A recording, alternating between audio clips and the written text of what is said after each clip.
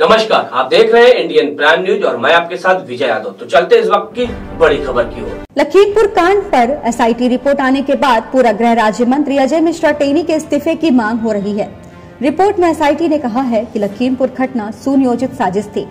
बता दें कि पूरे मामले में अजय मिश्रा टेनी के बेटे अजय मिश्रा मुख्य आरोपी हैं। एसआईटी रिपोर्ट को लेकर एक पत्रकार ने जब अजय मिश्रा टेनी से सवाल किया तो वो बदसलूकी पर आ गए। जैसा कि पूरा देश जानता है, उत्तर प्रदेश के लखीमपुर खीरी में अजय मिश्रा टेनी के पुत्र ने जीप से कुचलकर किसानों को मार डाला था।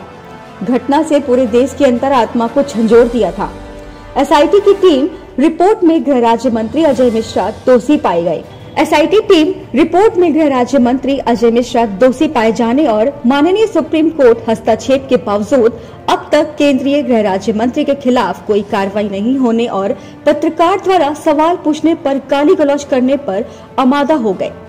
इसी के विरोध में कांग्रेस पार्टी जिला अध्यक्ष अभिषेक सिंह राणा कांग्रेस कार्यालय से डाक खाना होते हुए डीएम कार्यालय पहुँचे। और केंद्रीय गृह मंत्री अजय मिश्रा के खिलाफ अपनी आवाज़ बुलंद करते हुए अजय मिश्रा को बर्खास्त करो। पत्रकारों के सम्मान में कांग्रेस मैदान में किसानों के सम्मान में कांग्रेस मैदान में नारा देते हुए एसडीएम को ज्ञापन सौंपा। Bureau report IPN.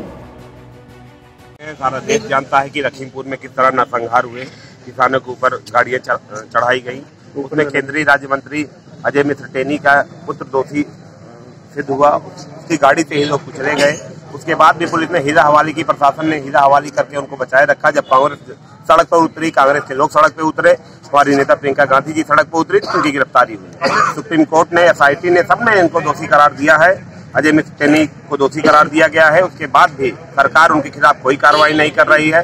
प्रशासन उनके ऊपर कोई कार्रवाई नहीं कर रहा है। उनका इतना ज़्यादा मनोबल बढ़ गया है कि वो सबके साथ बदतमीजी कर रहे हैं। अभी पत्रकारों के साथ अवस्था की वो कल वीडियो वायरल हुआ।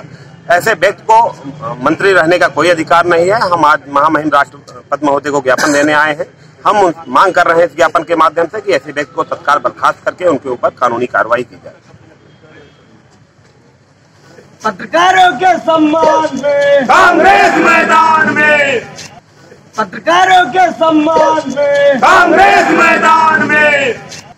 पत्रकारों के सम्मान में। कांग्रेस मैदान में पत्रकारों के सम्मान में। कांग्रेस मैदान।